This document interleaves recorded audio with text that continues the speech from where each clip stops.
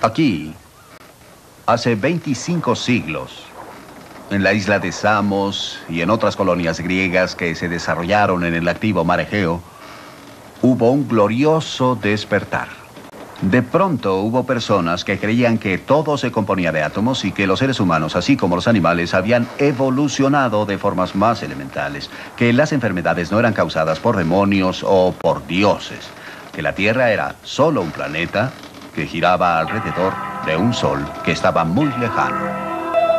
Esta revolución convirtió el caos en cosmos. Aquí, en el siglo VI a.C., surgió una idea nueva una de las grandes ideas de la especie humana.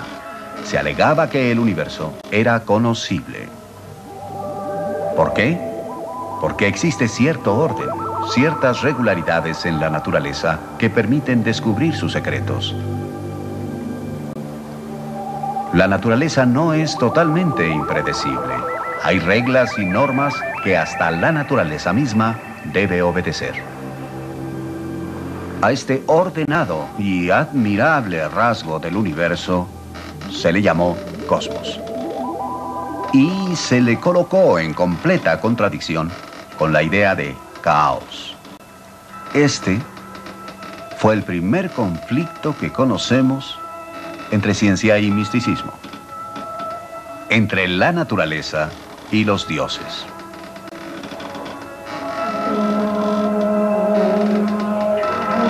Pero ¿por qué aquí?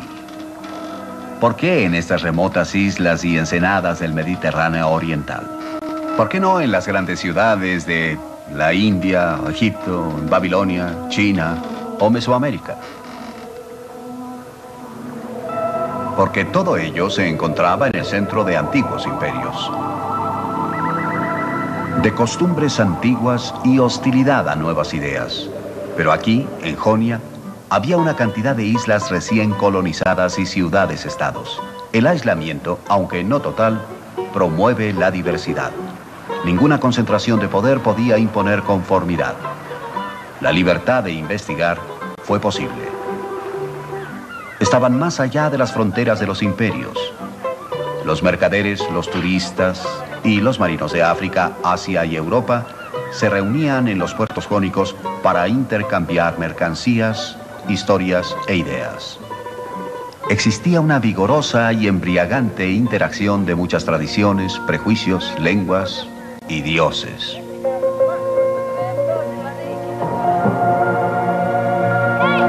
Estos pueblos estaban dispuestos a experimentar. Una vez que se empiezan a cuestionar rituales y prácticas largamente establecidos, encontramos que una pregunta conlleva a otra.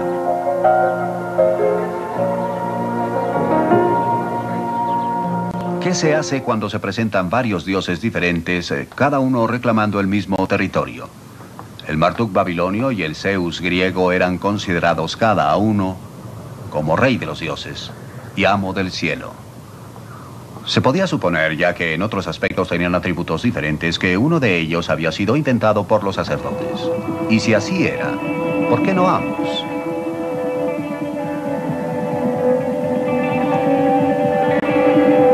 Y así fue como surgió aquí la gran idea, la comprensión de que podía haber formas de conocer el mundo sin recurrir a los dioses, que podían existir principios, fuerzas, leyes de la naturaleza, a través de los cuales el mundo podía entenderse sin atribuir la caída de cada gorrión a la intervención directa de Zeus.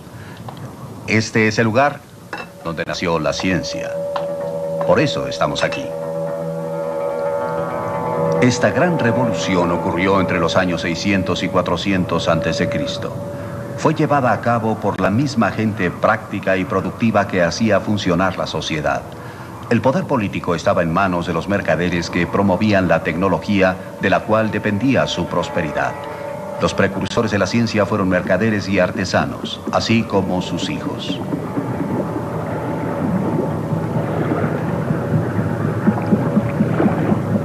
El primer científico jónico se llamó Tales y nació precisamente ahí, cruzando este estrecho en la ciudad de Mileto. Había viajado por Egipto y era versado en la sabiduría babilónica. Al igual que los babilonios, él creía que el mundo alguna vez había sido todo agua. Para explicar la existencia de la tierra seca, los babilonios agregaban que su dios Marduk había colocado un tapete en la superficie de las aguas y había apilado tierra sobre él. Tales tenía una opinión parecida, pero presintió del dios Marduk.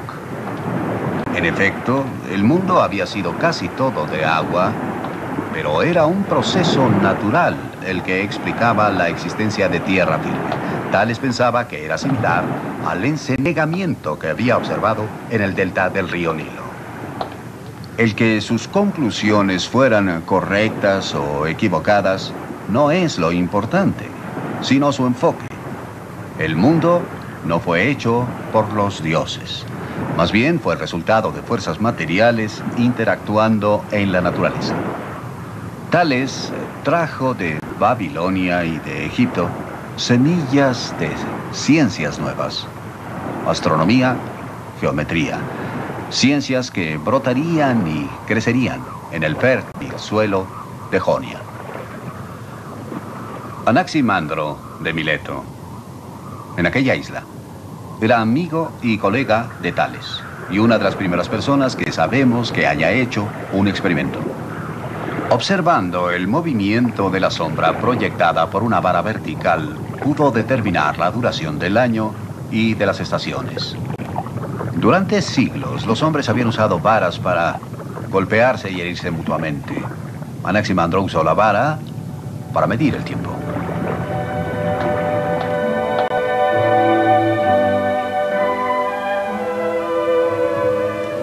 Nada fue excluido de las investigaciones de estos primeros científicos. Hasta el aire fue objeto de minucioso examen por un griego de Sicilia llamado Empédocles.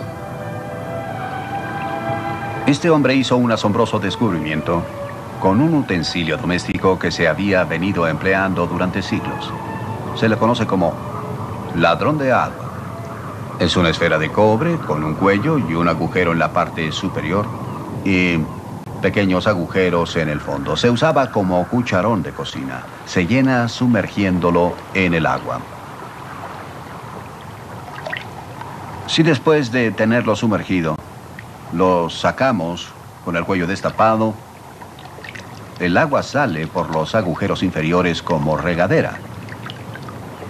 Si por el contrario, se saca tapando el cuello, el agua permanece adentro.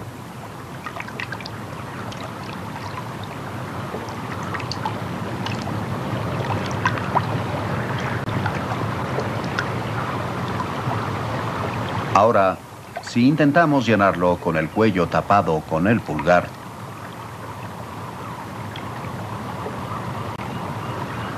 el agua no entra. ¿Por qué no entra el agua? Algo lo impide. Algún elemento obstruye el acceso del agua a la esfera.